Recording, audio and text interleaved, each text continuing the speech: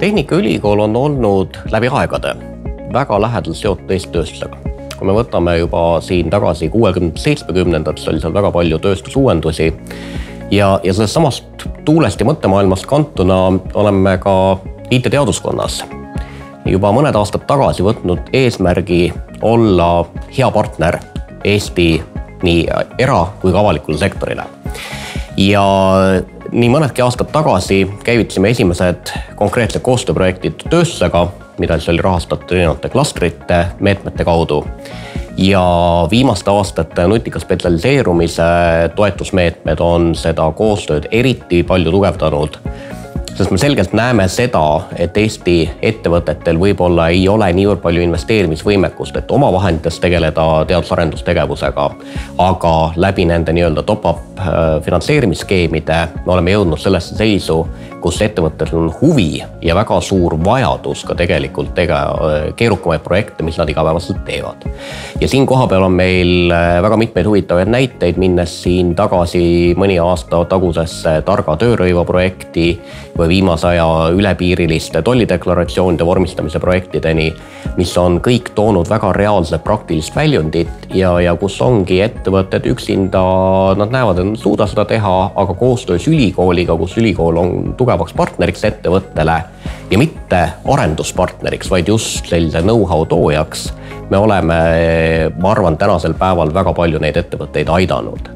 Aga samas me ei tohi ka unustada seda, et ülikooli roll ei ole olla arenduspartner, ülikool ei tegele niisuguste igapäevaste projektide elluviimisega. meie põhi tugevus on ikkagi ennekõike ettevõtte konsulteerimine ja ettevõtetele selle teadmise üleandmine, mis siin ülikoolis on talletunud. Ja see on see, kus on meie roll meie väga suureks huviks on see, et meil oleksid ettevõtted partneriks ka tööjõu arendamisel või tulevase tööjõu arendamisel ja koolitusprotsessi juures. Eh, heaks näiteks on näiteks eh, pikaajaline koostöö Teliaga, eh, mis rahastab meil mitut doktoranti ja seekaudu tugevdab ühte konkreetset teadusvaldkonda, ühte konkreetset professuuri, antud juhul siis ennekõike 5G valdkonnas.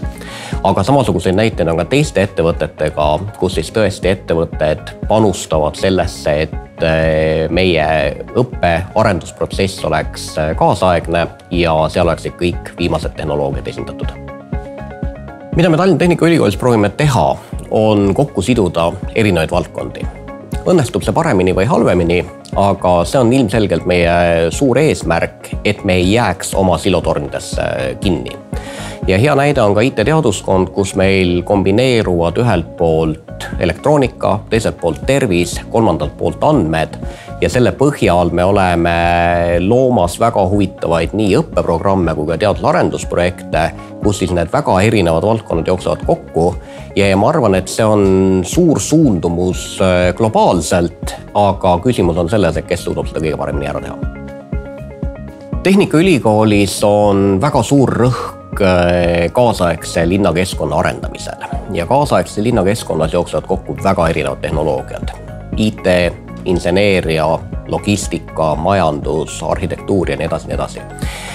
ja üks asi, mida me praegusel momendil üles ehitame, on nii-öelda väikese linna mudel siinses linnakus, kus siis jooksevad kokku erinevad teenused ja platvormid ja IT-teaduskonna vaates on eriti huvitav, on see, et me loome siia täiesti eraldi privaatse 5G võrgu, mis siis hakkaks tulevikus olema testplatvormiks kõikidele teenuste arendajatele, kes tulevikus hakkavad linnakeskkonna teenuseid arendama.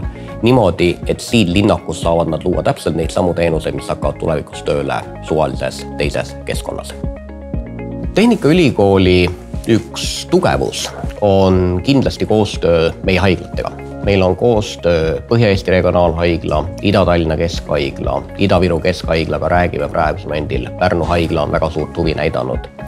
ja selle kõige tulemusena saavad siin ülikoolis kokku arstid, tehnoloogia inimesed, miks mitte ka majanduse inimesed.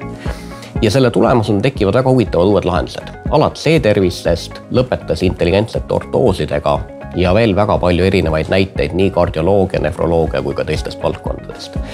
ja, ja minu arvates see on üks Tehnikaülikooli ilmselgeid tugevusi, et me panustame siitkaudu ühiskonna tervemana püsimisesse ja ühiskonda tervikuna, sest et eks on ka üks ülikoolide, ülikooli rollidest ühiskonna teenimine ja seda me üritame teha võimalikult hästi